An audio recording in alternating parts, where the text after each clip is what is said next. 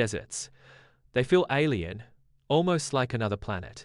But have you ever stopped to wonder, how do deserts form? These extreme landscapes are not just random patches of dry land. They're created by powerful global forces that reshape our world. Prepare to journey to Earth's driest places and uncover the surprising secrets behind their parched existence. Let's begin with high pressure, the atmospheric squeeze. The most common way deserts form is due to global wind patterns. Around 30 degrees north and south of the equator, air that has risen at the equator begins to cool and sink. This sinking air creates areas of high pressure. High pressure systems bring clear skies and block clouds from forming. Without clouds, there's no rain, and continuous sunshine heats the ground intensely. Think of a giant, invisible hand pushing down on the atmosphere, drying everything out below.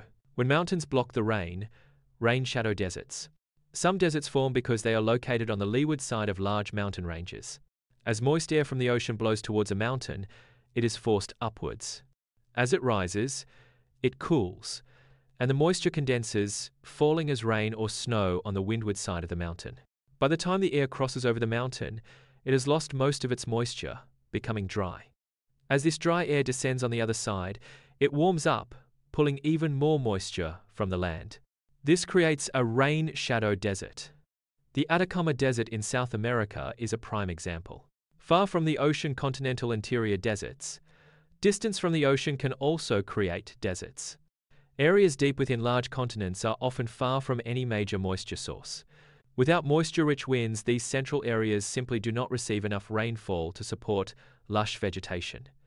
The Gobi Desert in Asia is a vast interior desert, far removed from ocean influences. Some deserts, surprisingly, lie right next to oceans. This happens due to cold ocean currents. When cold currents flow along a coastline, they cool the air above them. This cool air is very stable, meaning it does not rise much.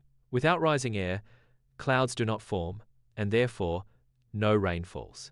Even though there is an ocean nearby, the cool, stable air prevents moisture from being released onto the land. The Namib Desert in Africa is an example, often shrouded in fog but receiving very little rain. Sometimes, deserts expand due to a combination of natural processes and human activities, like deforestation or overgrazing. This process is called desertification.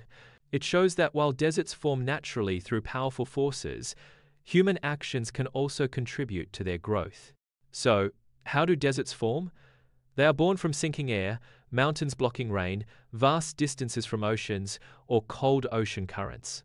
These powerful natural forces work together to create Earth's most extreme and fascinating dry landscapes.